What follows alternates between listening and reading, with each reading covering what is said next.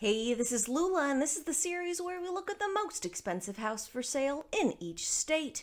We are all the way up in Maine, that's right, the Lobster Coast, Canada Junior, the native habitat for old lighthouse keepers who warn you of a ship that appears on foggy evenings. But once you've seen it, death will surely follow. Anyway, I don't know that much about Maine. Uh, this obviously we've got a, a, beautiful house on the coast here. It is 11 million 600,000 for a five bed seven bath. So that's it's a, a moderate i would say moderate sticker price for most expensive house in the state and fairly small compared to some of the other houses we've looked at uh, but considering this opening picture, I'm thinking there might be like a, a natural splendor kind of element uh, to to balance it out. So let's let's find out. All right, yes, we are seeing more splendor. Uh, we got some ivy creeping up the house, which it looks so nice. I know it's bad for the house. It looks so nice. Uh, we got some beautiful stonework here. Um, it looks like most of the, the trees around here are are pines, which kind of fits in with my understanding of the the climes. I wish I knew more about architecture so I could tell you what style this is because it's it's definitely a bit different than what we've looked at before. Uh, I don't know that I dislike it though it is it's very much just like this single contiguous shape here uh, but maybe that's maybe that's good when when those nor'easters start a blowing. I don't know. Yep, we've we've definitely got natural splendor here. Do you think that sky is photoshopped? I wonder. Uh, I do know that sometimes they photoshop the skies in these pictures. We got some strange stone orbs uh, in in the greenery. They they really want us to see these orbs. And here is the walk up to the front of the house. They've definitely done some sort of weird blurring because look at like the trees are doing the same thing that the clouds in the sky. Uh, what is that? It's like a a motion effect, like we're running directly at the house. You've got another angle there, and yet another. Come on, let's get inside. I've never been a big fan of stucco, which the siding here is stucco. I know that it does have some advantages in certain climates. I don't know that Maine is that climate, but maybe I don't I don't know enough about stucco or Maine to tell you. Uh, I do like this two tone with these these geometric framing things around here. And we've got some very bold woodwork inside. That is that's that's not a, a chair rail, that's a small person rail. And we've got a tile floor, which uh, tile floors can be very nice, but they're also very cold. So unless we've got, we might have some sort of, you know, heated tile situation going on here. But other than that, it's going to be an awfully cold floor once you hit the the snowy months. Looks like we've got this little entryway that is it's separated, but it's still open to the space. I I kind of like that. Coming through to kind of a, a warm sitting area. You could see the ocean out through this window here. Uh, so far, I'm I'm on board. I gotta say, having having the the chair rail up this high really does limit your options for color. I mean, it's a nice wood color and it's beautiful woodwork. Um, I'm trying to decide if it would look weird to have a color on the wall here because right now everything is just brown and white and there's really not, uh, you know, you could have gone for not white furniture perhaps. Uh, but other than that, there's not a lot of opportunity for new colors. Oh, I see we've got a porthole in the wall here uh, so that we can feel like we're on a boat.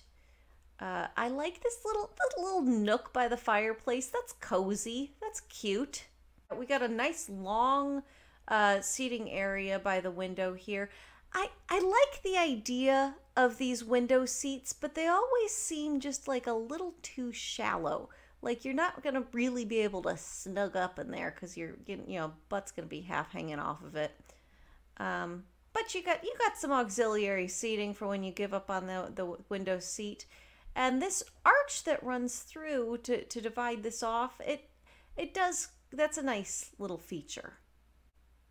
I feel like I'm not complaining about this house enough, but I, I also feel like it, it hasn't given us uh, enough personality to judge. This is very, very clean, very staged. It's a little pottery barn. I'll, I'll say that. There's look at all this gray. It's a little pottery barn. Um, it looks like maybe we've got some subtle color here. Um, but you know, with all this wood everywhere, I was I was debating whether you could put a color on the wall here. You could definitely put a color in this little nook here. That's a great opportunity for a feature wall, and they did not take it. Brown and white. Another angle on that fireplace. And we've got a second fireplace. This one is that like a gold mosaic tile around it. That's um, a little groovy for my taste. Uh, let's let's call it that. Uh, we've got another. We're making good use of archways to divide spaces. This, uh, with the, I feel like there's a right way to use this little indent in the wall. Um, you know, the built-in uh, storage is nice. I feel like there's supposed to be a picture. I haven't seen any art anywhere in this house. I assume that's because this has been staged, maybe. Um, but yeah, that's you, you went through all the the trouble of putting in some some candles and some flowers here. That this is a space in need of a painting or two. Um, other than that, like without that, it looks a little like an altar. You know, like you're supposed to make an altar there. Oh, here we do have we do have art. They know that art exists. They just don't have very much of it apparently, uh, and they've chosen uh, white art, um, which which really you know breaks up the color scheme of the rest of the room. Oh Lord, wait, why would you get paintings that match the wall? The windows are beautiful uh, the woodwork throughout the house is is very nice. You got a white carpet. Really, you're gonna eat over a white carpet? Are you insane? Oh, this this room's gray. What a nice change of pace. We're in a gray room now. I assume this, we're going to a kitchen because I see some sort of pastry under a dome. Love a good pastry dome. Yep, here it is. There's the. You know what? It's moderately sized compared to what we've seen in other houses. Uh, oh, we do have a disguised refrigerator. The refrigerator is masquerading as a pantry because you can't let them know you eat. You cannot let them know that you are a mortal who needs food or you will die. Uh, and we've got some stacked ovens. Uh, sink over here. We have a space for stools at the kitchen island, but we don't actually have any stools. So either the people staging this house uh, just didn't think it was worth it, or uh, this this house said no, no to people staring at me while I cook. You can't be in here, and I respect that. I do. This is an interesting little. I, I feel like this is supposed to serve because the the kitchen's behind us. This is supposed to serve the purpose of like a, a breakfast nook or a kitchen table, uh, but it's so stiff and formal. It's it's small enough to be just a kitchen table, but it's not cozy enough. You know, the kitchen table is supposed to feel like the dining room is is for like, oh, we've prepared a meal and we're all going to sit down together and, and have a meal. Whereas like the kitchen table is somewhere that you're supposed to go at like you're supposed to be able to go there at like two in the morning when you can't sleep and you like need a snack in the middle of the night. You run into someone else that also couldn't sleep and you have like the best conversation you've ever had. And yeah, that's that's the space. You can't do that here. You can only talk about economics at this table. I don't know how I feel about having the two chairs staring at the water so close to the table um, I'm imagining that you're trying to like have a, a little brunch at this table and Grandpa's just sitting here like gazing out at the sea and making ominous statements. Um, and of course, everything the the floor is gray, the wall is gray, the furniture's gray. The, woodwork and the doors is the only color in the room. Is this wallpaper? You were like, oh, let's find a fun wallpaper for the kitchen. And then you found gray. They've also got it down here that might be stonework, maybe? I don't know. I don't. It seems too consistent to be stonework. Uh, we've got a shit ton of china cabinetry space up here, and all of the dishes are white. Oh, Lord.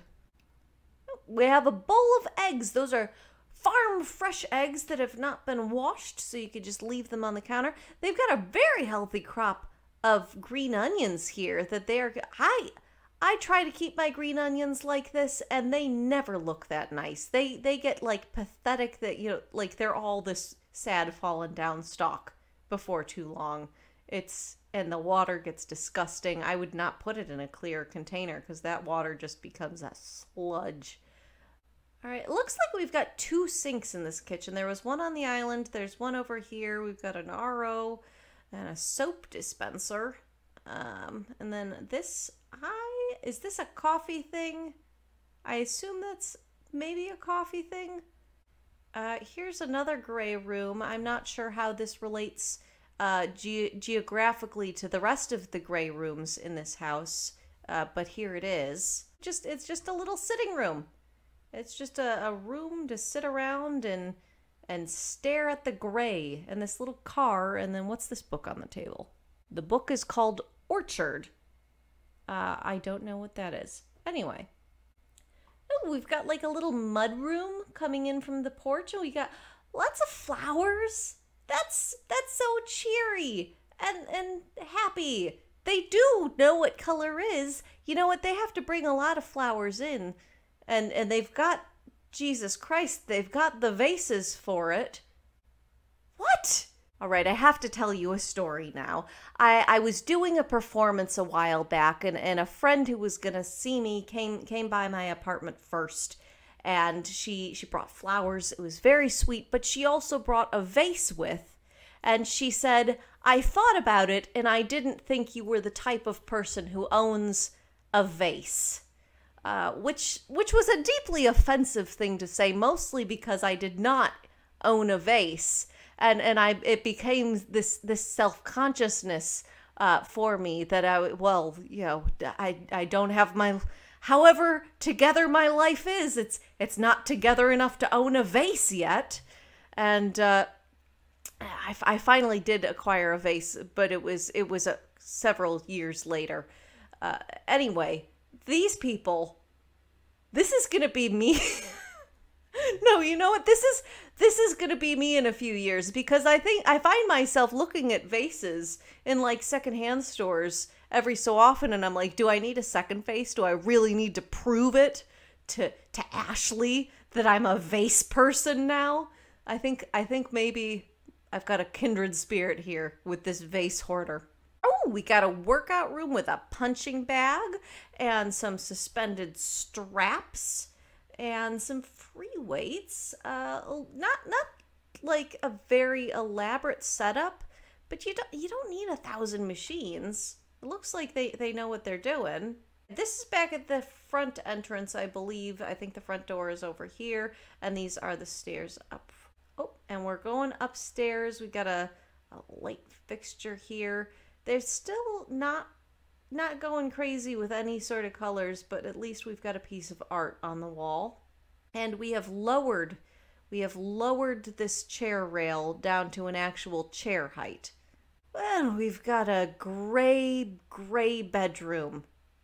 Um, shades of, of white and gray, and it, it, some of these are verging into blue, but but that was as far as they dared to go. Uh, it's also way, way too big. This bedroom is enormous. It's so big that not only does it have a seating area here, it has a second seating area here. It, this is a bedroom so big that it has the problem of being too big for a single living room. Uh, spectacular. Good job. I I love to feel like I'm sleeping in an auditorium. All right, and these what is with all of these chairs gazing out the window? How much time are they spent? I like I like to look out the window every so often. I don't know that I ever like need a dedicated seating area to do it. That's just all the time at the ready to gaze out the window. That's some captive vibes. I, I feel like people this passionate about staring out the window are people that aren't allowed to leave this house.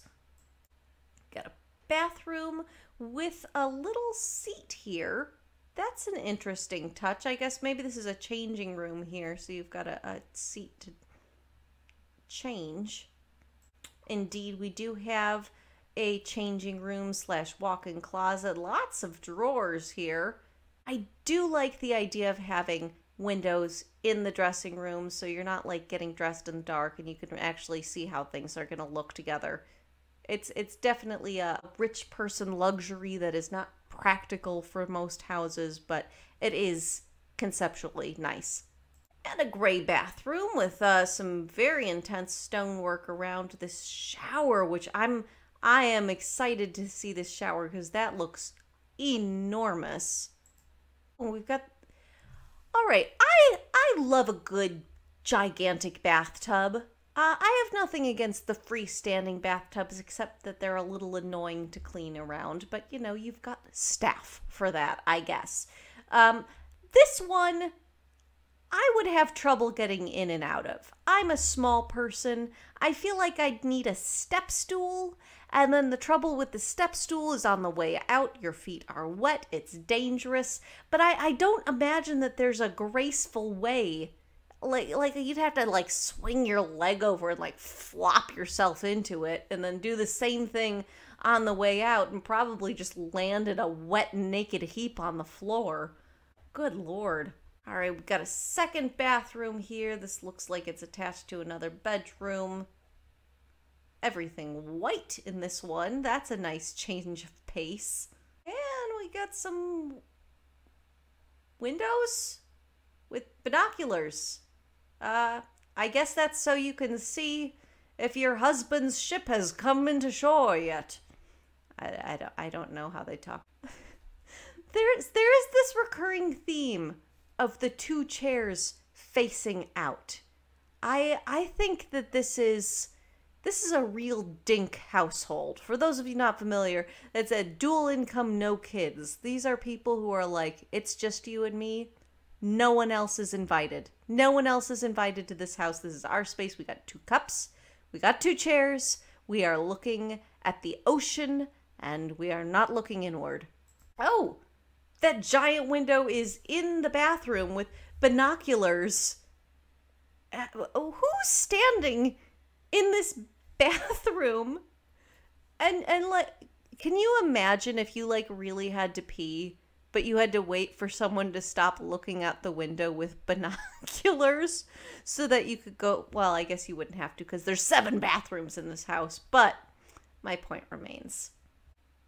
We've got a closet to a bedroom. I see more binoculars on windows. Do they have a set of binoculars for every these people are literally obsessed with looking out the window. What is what is the matter with are they allowed to leave? I'm curious. It's a gray room with binoculars so you can gaze wistfully out the window.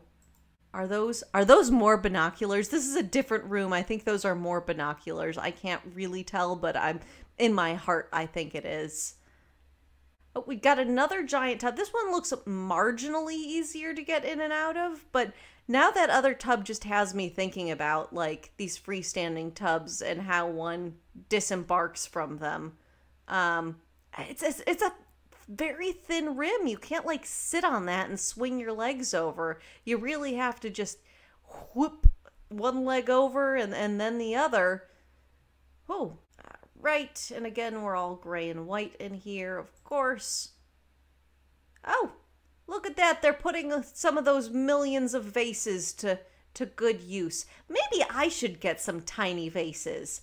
That sounds like a, a good way to have little tiny flowers in a bunch of places in your house. This, I believe, is a bedroom we saw before, and we can see through to the bathroom. Another, this is a new bedroom. This one has stadium seating so that people can watch you fuck. And no colors. We, I think this might be a baby blue on, on the comforter, but I'm, I'm not sure on that. This is an interesting little spot. You got like a booth here. That's that's kind of a fun space. I I'm going to say it. I like that. I like this little heart there. That's adorable. All right, we've got some outdoor space. Looks like a covered gazebo or veranda. I don't know what the terminology is. And we got lots of got lots of flowers, a good view out onto the ocean. We do love to look at the ocean here. Uh, oh, oh, we got a bird condo. That's you know what? Because because when you are living in a mansion, you want to make sure that your birds are also living in a mansion. Uh, respect, respect.